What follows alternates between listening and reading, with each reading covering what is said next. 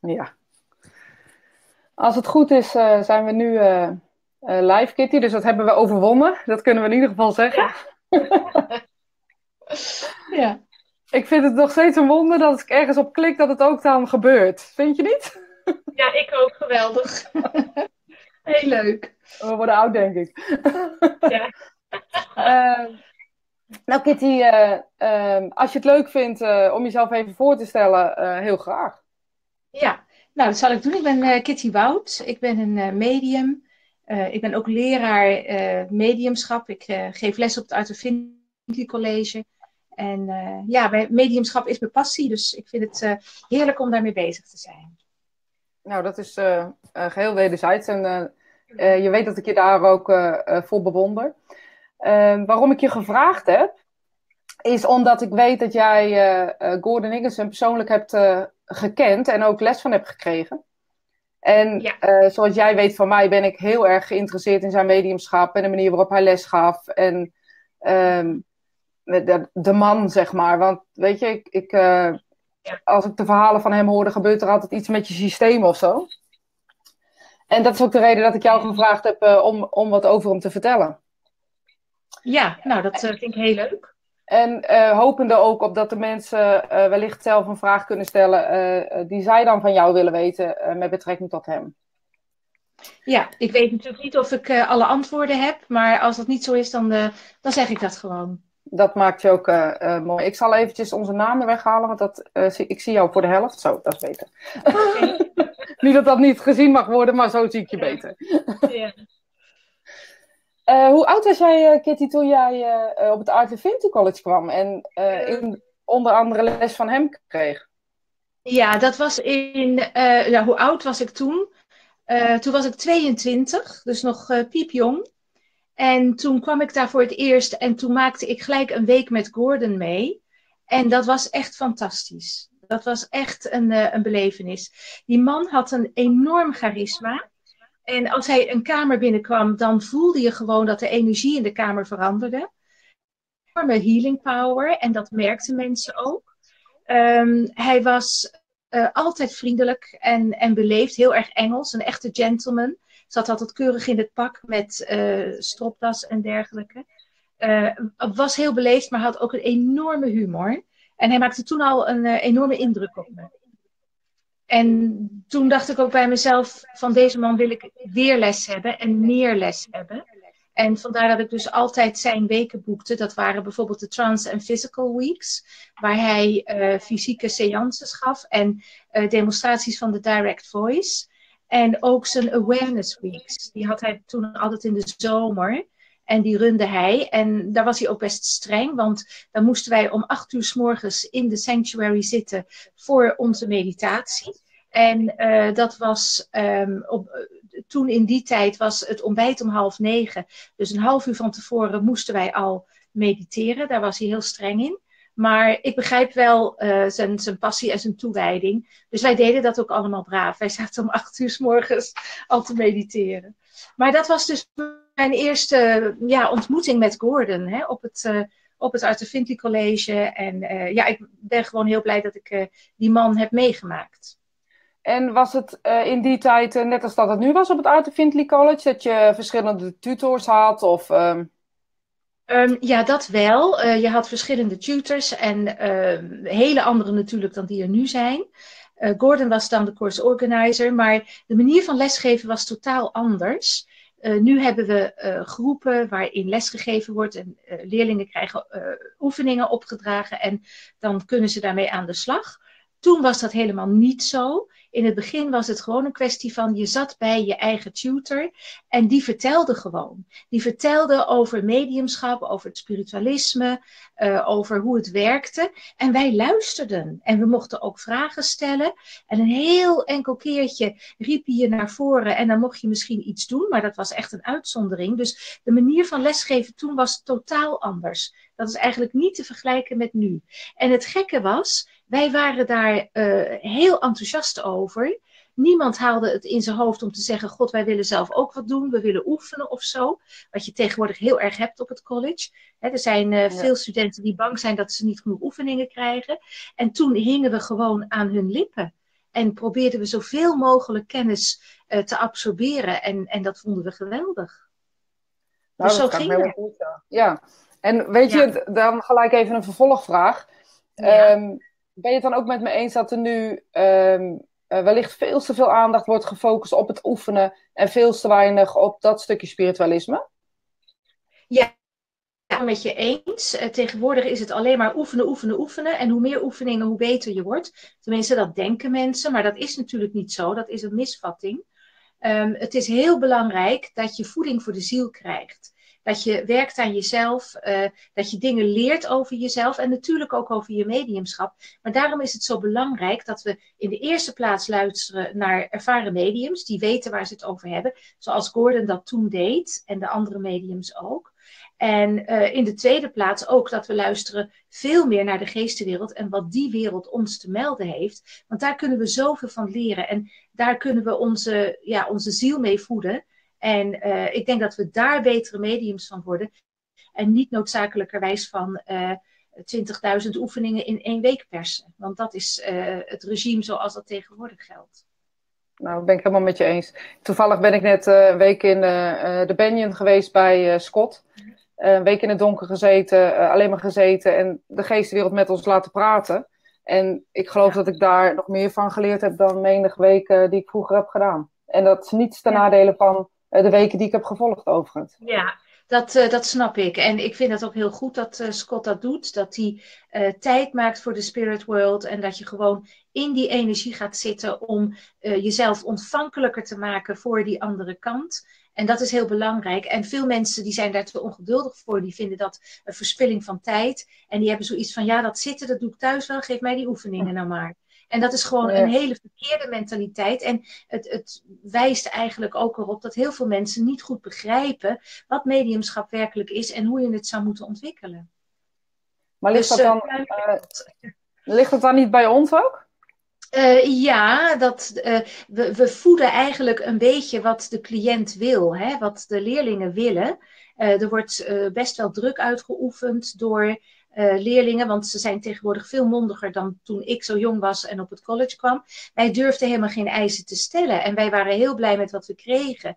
En tegenwoordig is het zo dat mensen naar een, een tutor stappen en al van tevoren aan het begin van de week al zeggen van ik wil dit, dit en dat. Of ik verwacht uh, dit en dit en dat. Dus ze komen met eisen. En dat zetten ze vaak ook op hun, uh, op hun uh, formulier, wat ze in het begin van de week inleveren. Van ik wil bij die en die tutor en ik wil dit en dat. En ja, zo werkt het niet. Maar veelal bezwijken we toch voor de druk en de pressie die uitgeoefend worden. Want ja, je wilt tenslotte iedereen tevreden houden. Eigenlijk een ja, foute houding.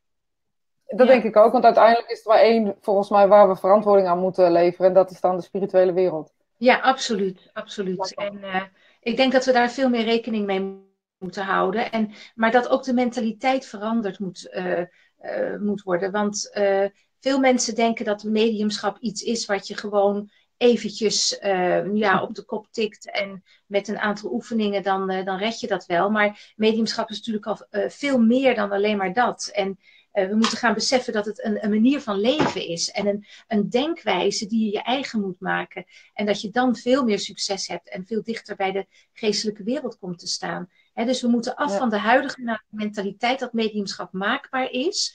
En dat je, uh, dat je mediumschap als het ware kunt produceren. En dat is niet zo.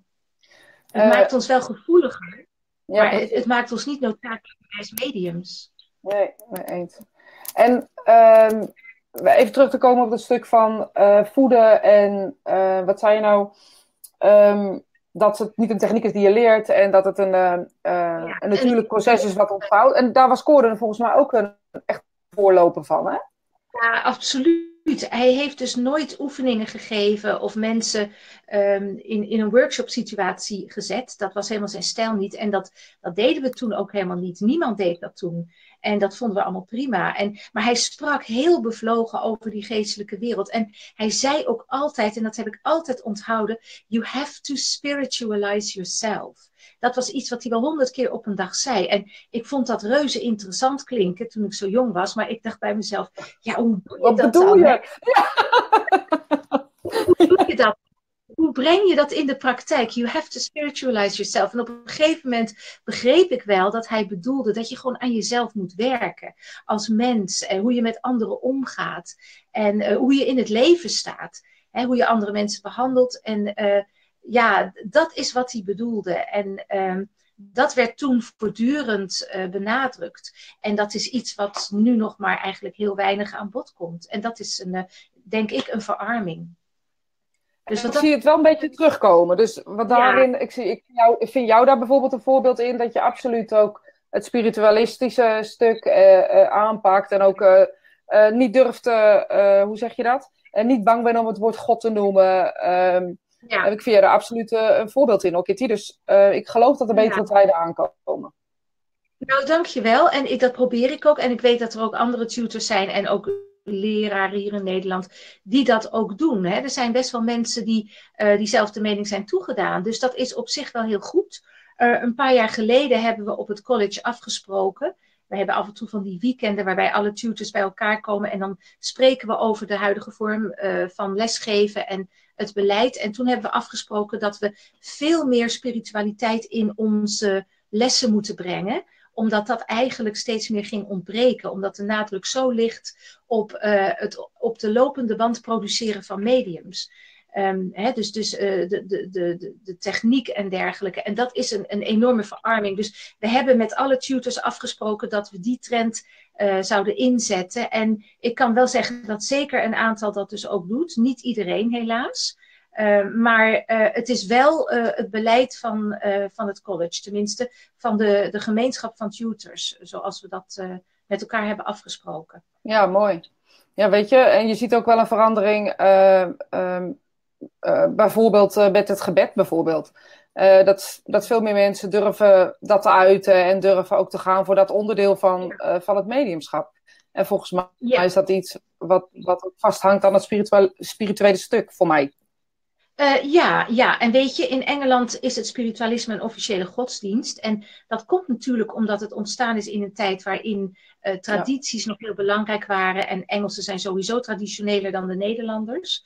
Uh, dus dat is heel begrijpelijk. je ziet nu ook dat er veranderingen binnen de Engelse kerken komen, hè, de spiritualistische kerken.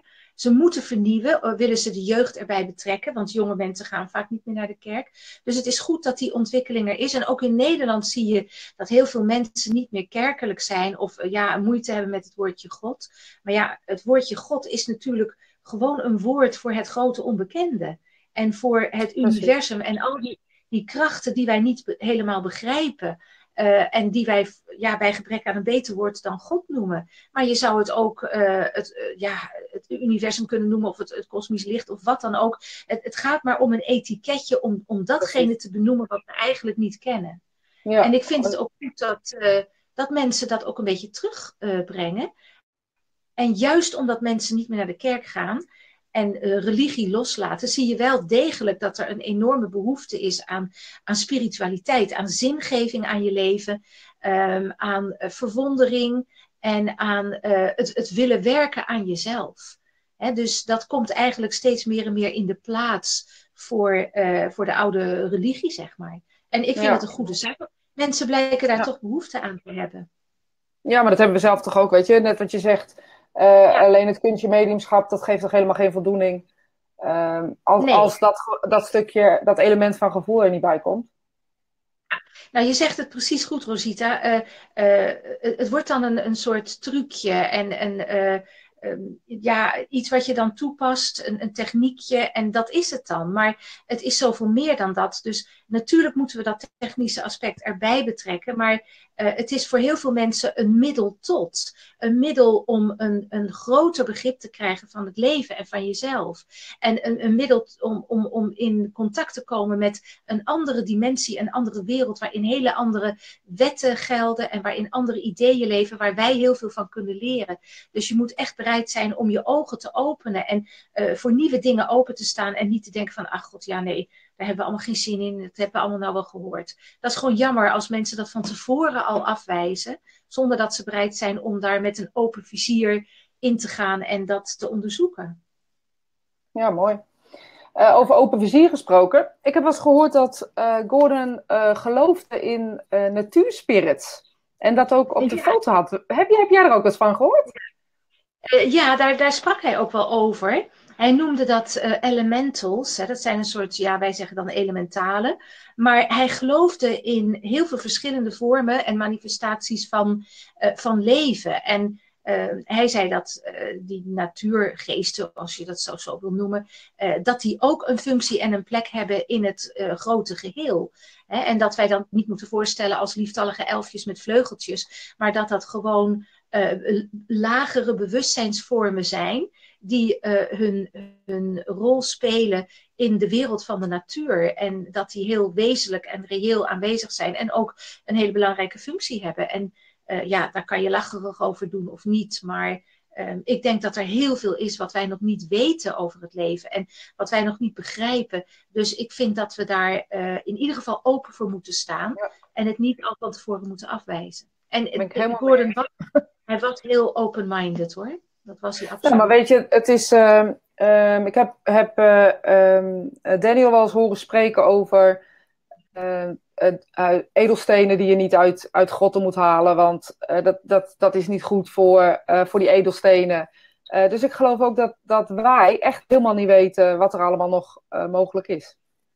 Nee, inderdaad. ja. En als we met die open mind kunnen kijken, denk ik dat we dat, dat spiritualistische stuk pas echt kunnen omarmen. Ja, precies. Door, door open te zijn, altijd je gezonde verstand te gebruiken en te kijken van wat is hier een verklaring voor. En soms zijn er gewoon geen logische verklaringen voor. En dan zullen we een andere uh, hypothese moeten aannemen en zeggen van nou misschien komt dit wel uit de geestelijke wereld. En uh, ja, openheid en bereidheid om dingen te onderzoeken is denk ik uh, van groot belang als je je op dit gebied begeeft. Zeker. Ja, ja. En jij zegt net uh, dat je trans- en fysieke medium weken uh, mee hebt gemaakt van Gordon. Wil je daar zo vertellen wat je daar hebt meegemaakt? Ja, dat was geweldig. ik heb dat toen met mijn schoonmoeder geboekt en we, we wisten begot niet waar we in we wisten ook niet wat het betekende, maar we hadden zoiets van, ach, we gaan gewoon. En er waren nog twee plekjes. Want die weken waren altijd volledig uitverkocht. En was daar dan, dan ook les gaf. En uh, dan hield hij twee keer per week hield hij een uh, fysieke seance in de bibliotheek. En dan zaten er twee rijen mensen in een ovaalvormige kring om zijn kabinet heen. En Gordon zat in die tijd in het kabinet, maar wel met het gordijn open. Dus hij zat niet achter het gordijn. En dat is best wel opmerkelijk, want in een fysieke seance wordt een gordijn juist gebruikt uh, voor het creëren van materialisaties. En als je dus achter dat gordijn zit, dan zit je als medium in een heel beperkte ruimte. Wat ervoor zorgt dat de uh, fysieke energie uh, heel erg gecomprimeerd wordt en zich snel kan opbouwen. En daardoor ook veel makkelijker vormen aan kan nemen. Dus dat gordijn helpt alleen maar. Maar hij vond dat niet prettig. Dus hij had altijd het gordijn open. En dat had tot voordeel dat we allemaal in het kabinet konden kijken. Want daar hing dan een, uh, een rood licht boven. En Gordon wilde altijd het liefste uh, bij koud weer, koud droog weer, demonstreren. Vandaar dat die weken altijd eind november plaatsvonden. En uh, hij zei ook altijd van hoe kouder, hoe beter. Dus als het vriest of zo, of, of sneeuwt, dan is dat, zijn dat goede omstandigheden. En hij zat dan in het kabinet en hij ging dan al vrij snel in trance. En hij, je zag dan dat, dat zijn lichaam een beetje heen en weer schommelde een paar keer. En daarna begon hij al vrij snel um, te snurken, luid. Het was een grote, zware man. En um, zijn ogen vielen al dicht. En dan duurde het een minuut of vijf voordat er uh, iets ging gebeuren. Voordat bijvoorbeeld een, een stem sprak of uh, voordat uh, ectoplasma zich begon te manifesteren. En ik weet nog wel dat het ectoplasma, dat kwam altijd uit zijn navel. Hij had altijd een t-shirt en een broek aan en was dan van tevoren gecontroleerd door meerdere mannelijke studenten. De kamer was ook altijd onderzocht. Dus wat dat betreft werd er echt wel rekening gehouden met beschuldigingen van fraude. En um, uh, op een gegeven moment zag je dus een soort mist verschijnen, die vanuit het medium kwam, ook vanuit zijn mond en zijn neus, en soms vanuit zijn oren, en ook vanuit zijn buik waar zijn navel zat. En die mist die ging dan naar voren en die rolde dan over de grond. En die verdichtte dan ook heel langzaam. Dus wij konden allemaal die mist zien en dat was best wel spectaculair. En dan zag je op een gegeven moment dat midden in de kring uh, kwam die, uh, die mist bij elkaar. Die werd compacter en ondoorzichtiger. En dan zag je ook dat, uh, dat het een beetje een, een troebele witte substantie was. En dan zag je die, die witte substantie zich verdichten en omhoog komen in een soort witte kolom. En dat was heel bijzonder. En je zag ook dat die witte kolom verbonden was door een soort ja, ectoplasmische kabel met het lichaam van het medium. En die bleef daar ook gewoon zitten. Die ver, verplaatste zich niet, die, die verroerde zich niet. Die was gewoon diep in trance. En het enige wat we hoorden was zijn gesnurk. En dan zag je ook uh, dat die witte kolom uh, veel, uh, steeds meer een menselijke vorm aannam. Dus ineens kwam er uit die kolom een hand en een arm, die dan ineens uitstaken. En dan kwam de andere hand en arm. En dan werd ook het hoofd gevormd. En ik herinner me nog dat de eerste keer dat ik het zag, was ik heel erg verbaasd. Want ik, ik wist echt niet wat ik kon verwachten. Niemand had het ook uh, uitgelegd aan ons. En uh, ja, dus het was even een, uh, een shock. En toen begreep ik wel dat het een. dat was een, een, een oud dametje. Zij was klein en mager van postuur. En wij zagen Gordon tegelijkertijd zitten. Dus we wisten ook dat dit Gordon niet was, want hij zat daar en hij was duidelijk zichtbaar. En dit was iemand met een veel kleiner uh, postuur. En ja, zij sprak tot haar zoon. En we hoorden ook vanwege de direct voice uh, haar authentieke stem. En uh, zo volgde er veel meer. En dat was natuurlijk heel bijzonder om te zien. En ook uh, om de authentieke stemmen te horen door de direct voice van die overleden mensen. En hoe de, uh, de mensen in de kring met hun dierbaren spraken, dat was heel ontroerend en, en heel emotioneel. En ik vond dat ook geweldig en, en heel aangrijpend. En uh, ja, ik heb daar altijd heel erg van genoten. Maar toen de tijd besefte ik niet hoe bijzonder het was. Ja? Ik, ik vond het wel geweldig, maar ja, pas achteraf bedenk je hoe bijzonder het was. En het, wat mij het meeste opviel, was dat wij allemaal een beetje in een rodige gloed zaten. Door dat rode licht van, van boven het kabinet. Dat was een zwak licht, maar het, het verlichtte wel voor een deel de kamer. Dus wij zaten allemaal met een beetje rooige gezichten. En het ectoplasma, dat, uh, dat bleef heel erg wit. Het, dat werd niet gekleurd, wat je zou verwachten, door dat rode licht van het kabinet. En dat vond ik opmerkelijk, want ja, hoe krijg je dat voor elkaar? En normaal zou dat ook gekleurd worden, maar dat gebeurde daar dus niet. Dus dat was, dat was heel bijzonder. En voor mij was het ook wel, het um, hier ging om iets uit de andere wereld, want we hadden daar gewoon geen verklaring voor.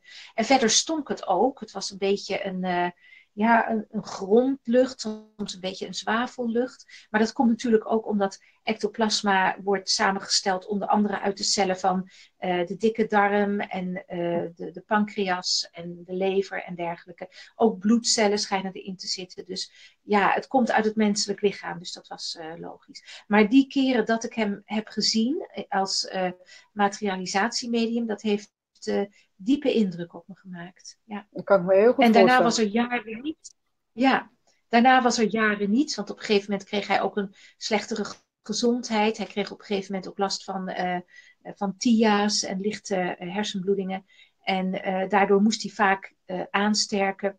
En kon hij op een gegeven moment ook niet meer zijn fysieke seances draaien. En dat was natuurlijk wel heel erg jammer. Maar ja, dat, dat was nou eenmaal zo.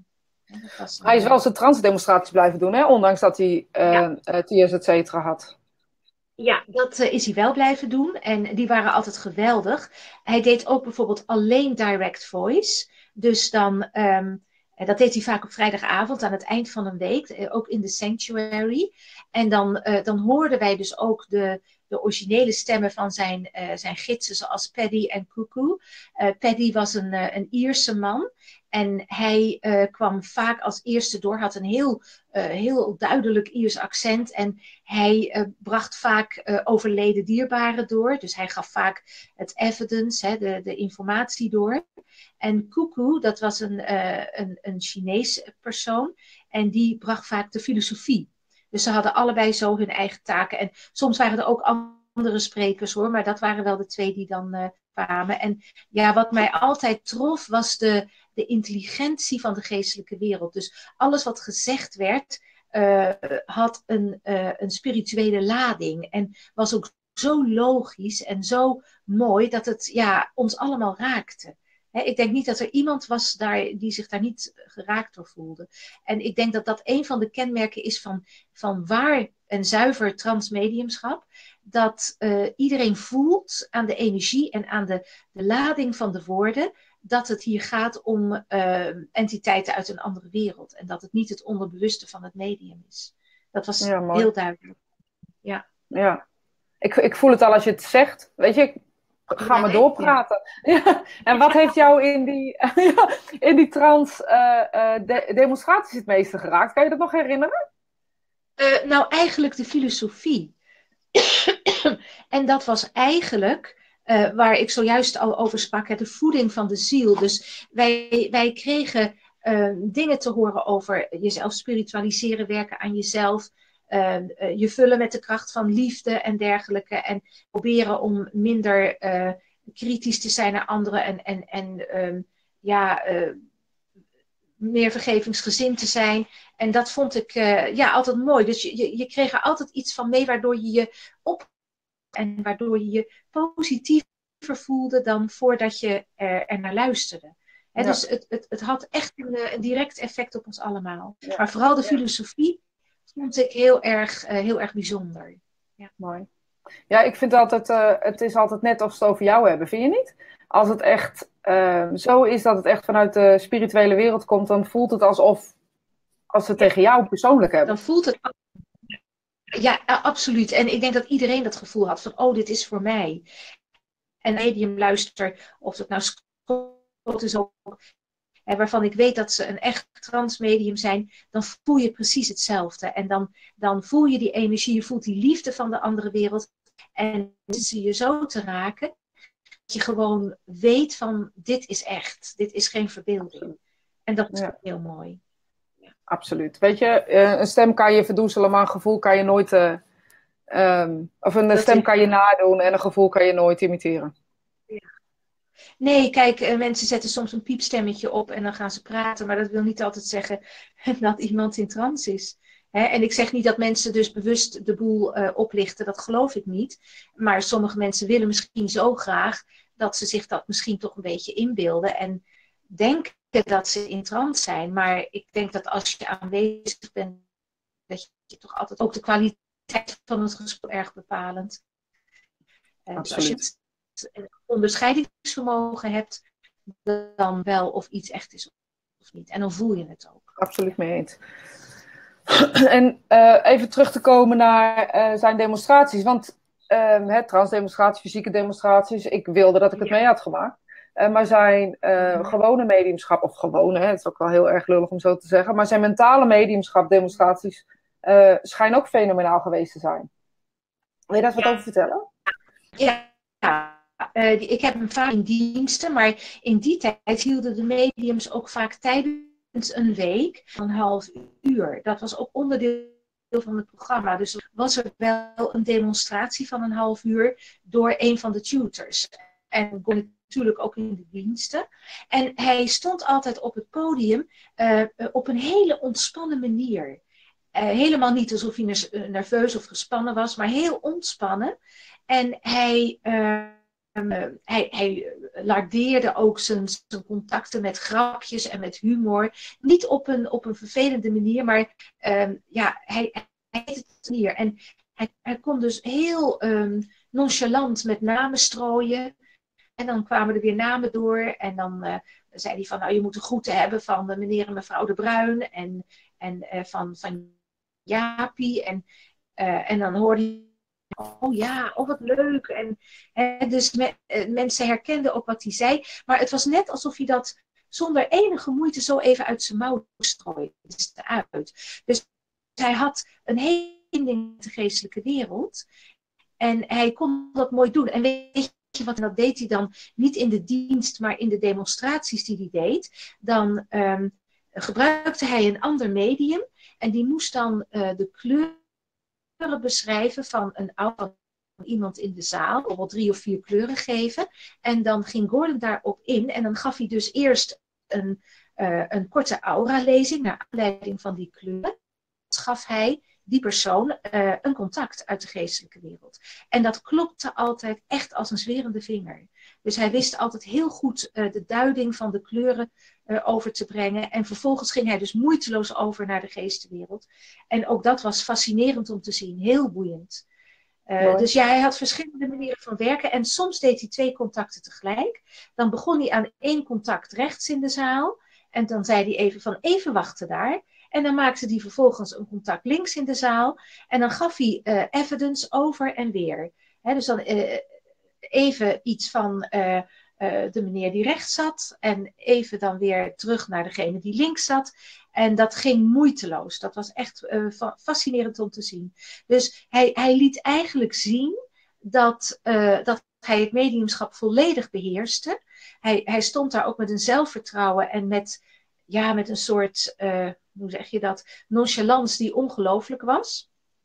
Maar je zag ook dat hij een enorme liefde en passie had voor de geestenwereld. En dat zei hij ook vaak. Hij zei ook van, ik vind het zo heerlijk om me met die andere wereld te verbinden, want het zijn zulke lieve mensen. Dus hij had echt een, een liefde ontwikkeld voor die andere wereld en ook een, een grote uh, bereid, uh, bereidheid om zich dienstbaar op te stellen dat, uh, en dat is misschien ouderwets, maar uh, ik denk dat wij wel iets kunnen leren van dat oude elan van die mediums van zijn generatie, die uh, met heel veel commitment en heel veel, ja, bijna een soort devotie op dat podium stonden en gewoon deden wat de geestenwereld zei. En misschien kan ik ook wel een verhaal daarover vertellen, over iets wat hij in de oorlog heeft meegemaakt. Ja, mooi. Dat was leuk. Hij moest in dienst en dat vond hij vreselijk. Maar ja, hij werd opgeroepen en dan moet je, hè. Zo ging dat. En um, de geestenwereld had hem van tevoren al gezegd dat ze met hem mee zouden gaan en dat ze hem zouden beschermen. Dus hij was wel enigszins gerustgesteld. En hij werd op een gegeven moment gestationeerd in Griekenland. En um, daar zou hij op een geheime missie moeten. En ze zouden hem dan droppen op een of andere berg. Maar ja, er ging iets mis en hij werd op de verkeerde berg gedropt. Dus er kwam geen, geen contact uh, vanuit uh, het leger om hem van informatie te voorzien en om te zorgen dat hij zijn missie kon uitvoeren. Dus hij had al snel door op een gegeven moment dat hij op de verkeerde berg zat. Maar ja, wat doe je dan? Je zit daar uh, in, in wild gebied. Hè? Het was ruig bebost gebied boven op een berg.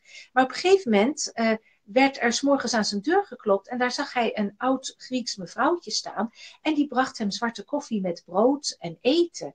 En dat nam hij hartelijk aan. En zij sprak geen woord Engels en hij sprak geen woord Grieks. Maar um, ja, ze, ze verstonden elkaar op de een of andere manier. En elke dag bracht zij hem eten. En uh, hij heeft haar nooit daarvoor echt kunnen bedanken. Op een gegeven moment werd hij uiteindelijk van de berg gehaald. Want toen begreep men dat er dus een vergissing was gemaakt. En um, dat was een grappige ervaring. Hij is daar nog een tijdje gebleven, want de Duitsers gingen toen weg uit Griekenland. En toen uh, ging hij naar Athene en daar maakte hij kennis met een jonge vrouw. En uh, hij, hij had als hobby piano spelen. Dat deed hij op het college ook. Hè. Er stonden toen veel meer piano's dan nu. En hij zat daar heel vaak, zat hij daar prachtig te spelen. Vooral muziek van Ivor Novello, dat was zijn lievelingscomponist. Maar uh, in Griekenland deed hij dat ook, uh, samen met die jonge dame. Dus ze speelden vaak quatre en zo. En toen um, uh, vertelde hij wat hij deed, want ze werden vrienden. En die jonge vrouw die vroeg dat op een gegeven moment van wat doe je dan? Nou ja, hij zegt eigenlijk ben ik een medium. En toen zei ze, oh maar dan moet ik jou brengen naar mijn oma, die woont in de bergen. en die is ook een medium. Nou, je raadt het waarschijnlijk al. Ja. die oma, dat was natuurlijk dat Griekse mevrouwtje dat hem in die tijd dat hij op die berg zat, had voorzien van voedsel. En uh, hij zei, zij was geweldig. Ze had een enorme power. Zij was ook een fysiek medium. En hij uh, werd uitgenodigd in haar bescheiden huisje. En uh, dat was natuurlijk ja, dat vond hij heel erg leuk. En hij maakte daar een seance mee, een fysieke seance, half in daglicht. En daarin zag hij dus een aantal overleden dierbaren verschijnen, die met hem contact zochten. En daar kreeg hij hele bemoedigende boodschappen van. Dus hij was haar heel erg dankbaar. En ondanks dat hij dus nooit met haar had kunnen praten, kon hij nu nog via de kleindochter ehm, ja, zijn dankbaarheid overbrengen. En hij, hij zei van de power die zij had, een eenvoudige boerenvrouw, dat was zo indrukwekkend, dat was zo gigantisch. En ehm, hij vroeg haar ook, uh, omdat zijn, die kleindochter natuurlijk vertaalde, van waarom kwam jij zomaar aan mijn deur toen ik op die berg zat en hoe wist je dat ik daar zat?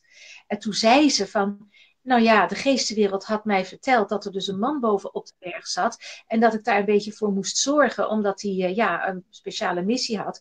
En of ik hem elke dag eten wilde brengen. Nou ja, ze zegt, en dan doe je dat toch? Dus zij had zo'n groot vertrouwen in de geestenwereld en zo'n toewijding, dat zij dat blindelings heeft gedaan. en dat, dat schetst ook wel uh, de toewijding van sommige mediums. Zij hebben zo'n groot vertrouwen in die andere wereld, dat zij gewoon dat soort dingen doen. En niet zeggen van ja, wacht eens eventjes, uh, volgens mij verbeeld ik het me maar en is het mijn fantasie. Ja. En misschien zouden doen. Zij deed dat gewoon. En zij had zo'n vertrouwen in die andere wereld. En daar bleek ook inderdaad die man te zitten. Dus dat is gewoon fantastisch dat hij dat, uh, dat, hij dat mee heeft kunnen maken. Dus maar dat ja. even, dat, dat was een mooi verhaal. Ja, dat is een prachtig verhaal. Ik, uh, uh, Scott vertelde vorige week, of de week ervoor, ook over een verhaal dat hij met Glenn Edwards um, uh, naar een. een, een ze, ze, gingen naar het Lake District of zoiets, daar was hij gek op. En ken je dat verhaal of niet? Ik, ik denk dat, je, dat ik weet wat je wil vertellen. Dat Gordon keek naar dat pasgetrouwde stelletje. Ja, ja. ja. Nou, vertel het ja. maar, het is een hartstikke leuk verhaal. Ja, ja, het is een leuk verhaal, want uh, Gordon had zijn gevoeligheid en zijn mediumschap zo enorm ontwikkeld dat hij, als hij mensen tegenkwam die hij nog nooit ontmoet had, precies kon vertellen en zien uh, wat er met ze aan de hand was, wat ze aan het doen waren. En hij zei dat ook daar met hem op vakantie was. Hij zei: Kijk, daar komt een jong stel aan de open. En uh, ik zal je precies vertellen wat er is uh, gebeurd, zus en zo. En ze zijn nu op huwelijksreis, enzovoort, enzovoort. En dat bleek ook helemaal te kloppen.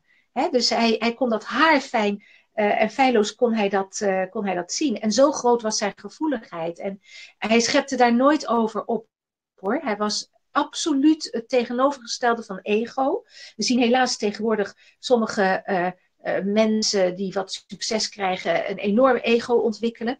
Uh, maar dat, dat was echt, dat heb ik nooit bij Gordon gezien. En ik heb hem 13 jaar meegemaakt op het college. En ik heb nooit gezien dat hij zichzelf op een voetstuk plaatste of opschepte over zijn kwaliteiten. Maar tegen Glyn kon hij dat natuurlijk wel zeggen, want zij hebben veel samengewerkt. En uh, ze zijn nu ook samen in de geestenwereld. Dat is misschien ook wel leuk om te vertellen.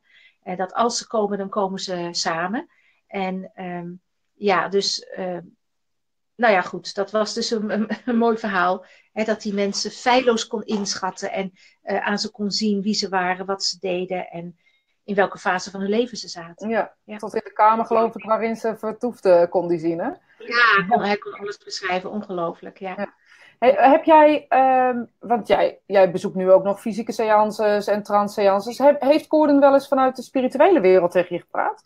Uh, ja, dat is verschillende keren gebeurd. Um, de, ja, de laatste keer was van deze winter.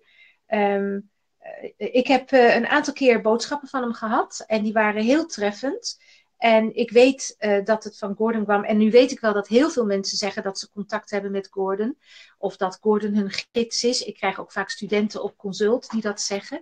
En ik kan dat natuurlijk nooit uh, eh, 100% weerleggen. Want je weet het niet. Het zou zomaar kunnen. Maar ik denk dat de kans klein is als je hem persoonlijk nooit gekend hebt. Maar goed, het, het, zou kunnen.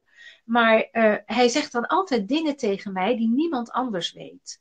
En dat vind ik dus heel, um, heel overtuigend. Uh, bijvoorbeeld, uh, hij kwam een keer door bij Scott. En toen zei hij dus uh, de zin tegen mij die hij zei toen hij mij voor de allereerste keer ontmoette. Nou, Scott wist dat niet, want ik heb dat nooit verteld tegen mensen. En um, hij vroeg toen ook naar mijn man. En dat was ook iets, elke keer als ik Gordon ontmoette, vroeg hij altijd van hoe gaat het nu met je? En dan maakte hij altijd een praatje met me. En op het einde zei hij altijd, and how's your husband?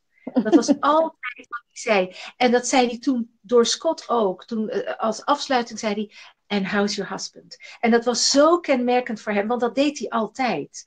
Dus dat was voor mij heel overtuigend, want ik heb dat toen gewoon nooit tegen iemand verteld. Want waarom zou ik? Dat was verder helemaal niet interessant voor anderen.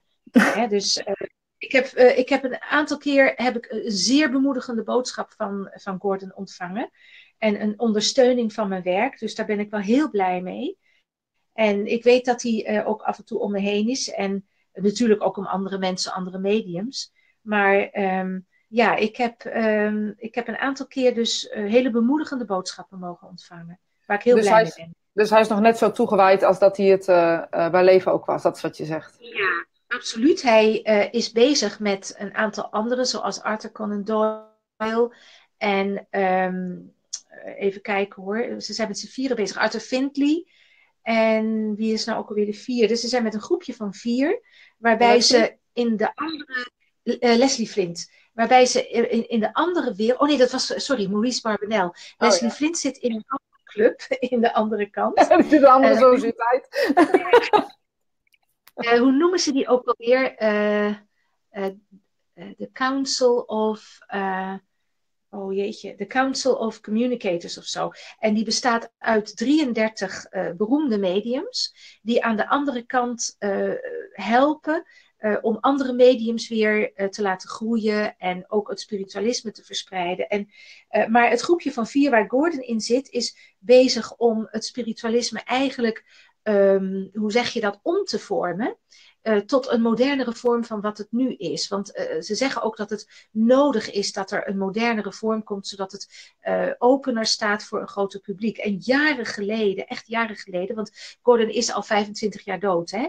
Dus het is al echt een tijd geleden. Maar hij zei dus, uh, en dat heeft hij lang geleden ook tegen Eileen gezegd, vlak voor zijn dood. Toen zei hij dat de kerken zouden verdwijnen in Engeland. En dat was niet uh, zomaar iets wat hij zei, want hij. hij uh, was heel erg gepassioneerd over de religie en over de kerken.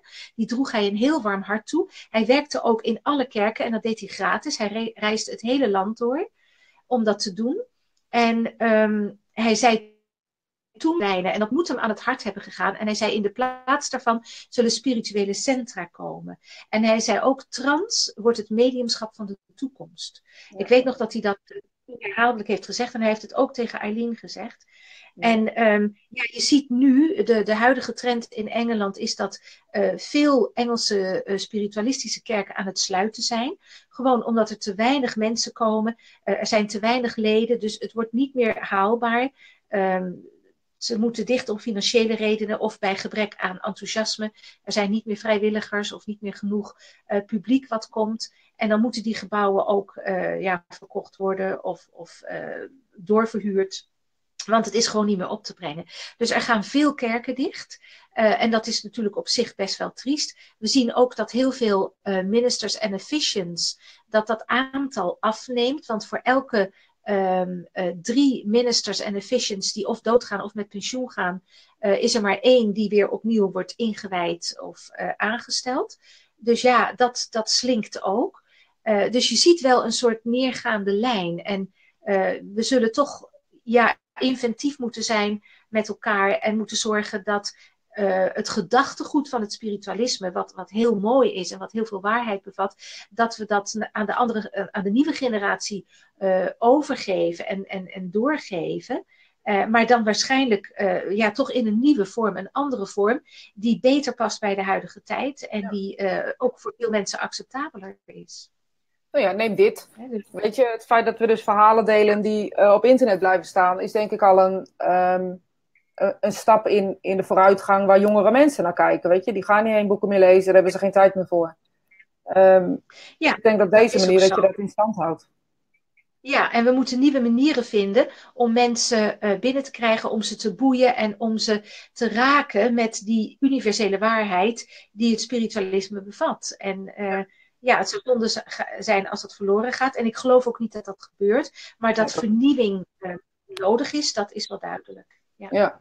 Nou, dat denk ik ook. Ik denk ook dat het, uh, het de manier, uh, weet je, op het moment als een instituut een gevangenis bijna wordt, uh, dan werkt het voor geen één, en vooral niet voor de vrijheid die de jongeren voelen. waaronder wij, denk ik. Ja. Ben je er nog? Ja, ja ik ben er nog. Ik en ik moet mijn telefoon aansluiten, want ik wil niet wegvallen zo. Ben, je, ben je er weer? Ja. ja. Nee, maar ik denk dat dat iets is wat, wat, ja, weet je, dan zijn wij de, zeg maar, de tussengeneratie en waar we, uh, ja. Uh, ja, ik denk ze zijn dan degene die daarna komen. Uh, ja, ja, het is belangrijk dat wij uh, die, die oude waarden, uh, dat we die doorgeven en dat dat levend blijft. Maar dan moet je mensen wel kunnen boeien en kunnen raken. En daarom moeten we ook goede werkers hebben. Hè? Want alles staat of valt met de kwaliteit van goede mediums en goede sprekers. Die mensen kunnen raken en, en kunnen boeien. Waardoor, uh, waardoor mensen geïnteresseerd zijn en denken van... Goh, dat was zo interessant, ik kom nog eens terug. Ja. Maar als we mensen hebben die natuurlijk middelmatig zijn... Ja, dan haken mensen misschien af omdat ze denken van... Nou ja, dat was eigenlijk niet zoveel bijzonders. Dus alles staat of valt met de kwaliteit van het werk wat mediums leveren. En dat is best een grote verantwoordelijkheid daar ben ik het helemaal met je helemaal volledig mee eens. En dat weet je ook. Uh, Weet je, ik vind het, uh, als je zo in dienst uh, bent, want dat is wat we zijn in wezen. en dan nemen mensen zo een loopje met dat dan dat vind ik soms wel ingewikkeld. Ja, dat is ook zo. En ik, ik, herinner me ook dat Gordon altijd heel erg onder druk stond. En dat heb ik later ook van andere mediums gehoord, zoals Eileen en dergelijke. Um, want uh, hij kreeg natuurlijk altijd heel veel verzoeken om hulp. En in die tijd had je nog geen e-mails en zo. Dus, dus mensen schreven hem brieven en die stuurden ze dan naar zijn huisadres. Dus hij kreeg gemiddeld in een week uh, soms wel tussen de 300 en 400 brieven. Nou, als je die allemaal wil gaan lezen en allemaal wil beantwoorden en daarop wil reageren, dan heb je een uh, fulltime privésecretaresse nodig. En dat is gewoon niet te doen, want hij had het heel druk. Hij, hij was president van de SNU. Dus als zodanig zat hij in allerlei besturen en commissies. Uh, hij was principal van het Arthur College, dat was ook een belangrijke functie. Hij was uh, minister, dus hij werkte in de kerken door het land. Hij reisde veel, um, hij, hij werkte op het college. Dus hij, hij leidde een heel druk bestaan. En uh, hij had natuurlijk helemaal geen tijd voor dat soort dingen. En hij, hij vond het moeilijk om met die druk om te gaan. Dus uh, ja, wat, wat heel vaak gebeurde was dat hij veel brieven van wie hij bijvoorbeeld de afzender niet kende, dat hij die gewoon weggooide. En dat moeten we niet verkeerd begrijpen, we moeten dat niet veroordelen, maar gewoon vanuit praktisch oogpunt begrijpen. Deze man had het zo druk dat hij geen tijd had om ook nog eens 400 brieven in de week te beantwoorden en, en daarop te reageren. Dus hij kon niet anders, want hij, hij werd ook heel erg, hij, kwam erg onder druk te staan door, door de pressie en de verwachtingen van sommige mensen. Dus daar kon hij gewoon niet aan beginnen, ook om praktische redenen niet. en dat, ja, dat, daar heb ik ook begin voor. Absoluut. Ja. Weet je, toevallig uh, postte ik net iets uh, dat. Uh, even, weet je, een paar nachten geleden reageerde iemand via Messenger. En ik reageerde niet in het.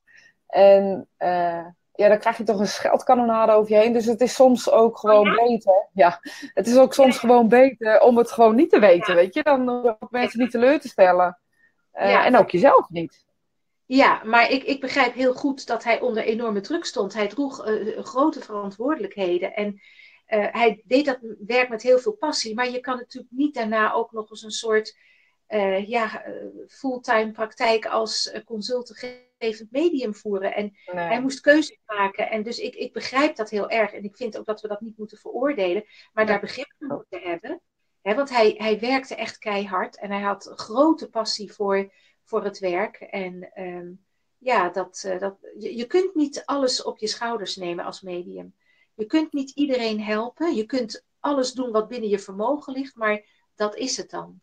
en, ja. uh, dat, en meer mogen we ook niet van, van hem of anderen verwachten. Iedereen doet zijn best, maar je kunt niet alles oplossen of iedereen te woord staan en iedereen helpen. En dat deed hij ook met. Hij vroeg ook nooit geld voor het werk wat hij in de kerken deed, bijvoorbeeld. En als uh, president kreeg hij sowieso geen geld. Hij had een, uh, een partner die uh, de kost verdiende als veefokker. Um, dus uh, wat dat betreft kon Gordon natuurlijk ook het werk doen waarvoor hij was uitgekozen. En misschien is het ook nog wel eens leuk om dat verhaal te vertellen van die monnik die hem bezocht. Ja, dat is uh, zeker leuk. Ja, misschien ken je dat verhaal. Ja. Gordon bleef vaak een nachtje logeren op het college als hij op doorreis was. En het was een keer midden in de winter en er waren geen studenten. Hij was daar alleen. Er was wel een mevrouw bij de receptie, maar hij was in de bibliotheek gegaan en hij dacht er eigenlijk over om het presidentschap op te geven, omdat hij het zo druk had en hij vond dat hij toch ook meer tijd voor zijn mediumschap moest maken. Dus uh, toen zat hij daarover te denken en toen ging ineens de deur open van uh, de bibliotheek en toen stapte daar een monnik naar binnen in zo'n grijze pij en die sprak Gordon aan en die zei van wij willen heel graag dat je uh, blijft als president, want uh, het is heel belangrijk voor de geestelijke wereld dat je dat werk nog een aantal jaar blijft vervullen. Dus we willen je met klem verzoeken om niet weg te gaan en om te blijven. En toen zei Gordon, nou ja goed, daar zal ik over nadenken, maar hoe bent u hier binnengekomen? Wie bent u? En ja, daar kreeg je niet zoveel antwoord op. Hij zei alleen maar van, nou ja, ik ben gewoon via de voordeur gekomen. En uh, toen ging die monnik weer weg. Dus Gordon was daardoor geïntrigeerd. Wie was dat dan? Dus hij ging bij de receptie vragen van... Hebben jullie er net die monnik binnengelaten? Monnik? Welke monnik? Waar heb je het over? Nee, er is hier de hele dag uh, nog niemand binnengekomen. Dus dat was heel bijzonder. Dus achteraf besefte hij ook wel dat dat iemand was vanuit de geestenwereld... die uh, op de hoogte was van zijn plannen om het presidentschap op te geven. En kennelijk was het zo belangrijk dat hij bleef, dat zij uh, die monnik hebben gestuurd. Maar dat, dat was, wel, uh, was eigenlijk wel een mooi verhaal. Ja.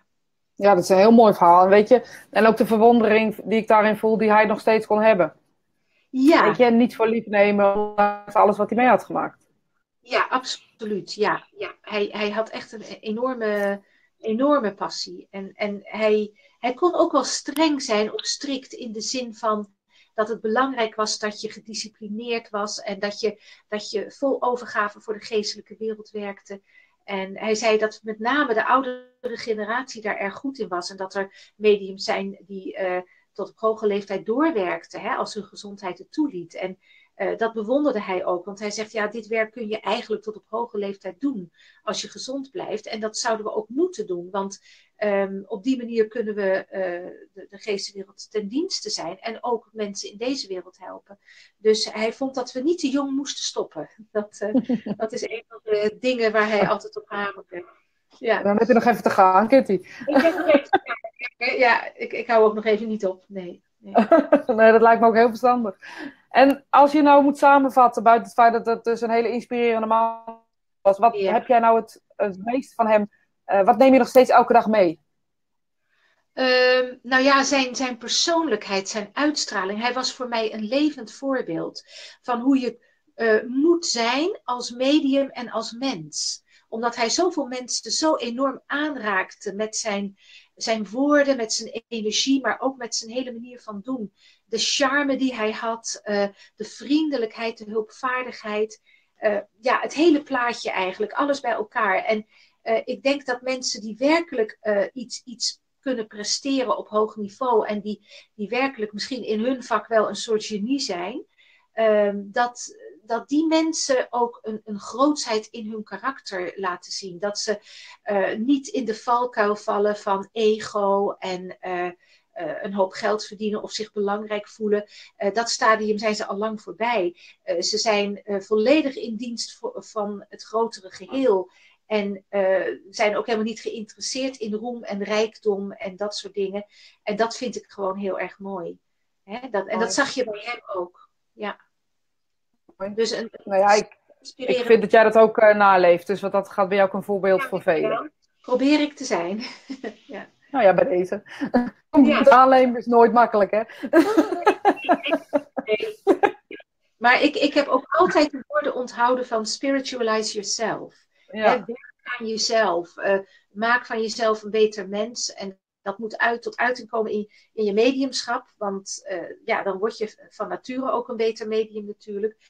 En het moet ook ten, uh, tot uiting komen in je, ja, in je leven, zoals je gewoon met anderen omgaat. Nou ja, zeker. Weet je, wetenschap is geen kunstje. Ja. En het is geen kunstje, het is iets wat je, uh, wat je moet leven. En uh, ja. ja. ik zeg ook tegen mij, wel eens, het is geen uh, zaterdagmiddag kunstje, weet je. Het is wel iets wat je echt, oh, ja, je moet ermee opstaan en je gaat ermee naar bed. Ja, en het is geen entertainment. Het, het, het heeft exact. toch iets ja, iets heiligs, iets, iets heel bijzonders, iets wat we moeten koesteren. Ja, bijna En, pastoraal eh, of zo. Ja, en maar ook die verbinding met die andere wereld, dat is toch iets, eh, daar moeten we niet eh, te, te makkelijk over doen of zeggen van, ach, dat stelt niks voor. Nee, het is juist heel bijzonder dat dat er is en dat we die mogelijkheid hebben. En we kunnen zoveel krijgen hè, in termen van wijsheid en healing en liefde en steun uit die andere wereld. Dat moeten we koesteren en we moeten ook zorgen dat we de kanalen open houden en eh, de banden verstevigen. Hè, Mooi. dus meer we daar open voor staan, des te beter het is, denk ik. Dus morgenochtend 8 uur zitten, begrijp ik? Eh, nou, ietsje later, maar ik zit elke dag. Ik ook. ook gewoon omdat het verslavend is. ik zal eens kijken of er nog wat vragen zijn die we nog niet gehad hebben, want daar heb ik eigenlijk geen aandacht voor gegeven. Ja. Eh, volgens mij is eigenlijk alles wat, wat ook gevraagd werd, heb je ook eigenlijk al ehm, benoemd. Mooi. Mooi. Nou, Nou, Kitty, echt hartstikke bedankt eh, dat je dit wilde doen. En ik weet zeker dat ik voor iedereen spreek die eh, heeft gekeken en nog gaat kijken, dat het heel leerzaam is en net of we een stukje meer van die man hebben leren kennen. Dank je wel daarvoor. nou, graag gedaan, Rosita. Leuk dat ik, dat ik dit mocht doen. Het was een, een genoegen. Nou, ik vond het ook hartstikke leuk. Oké, dankjewel. Oké, wel. Dag.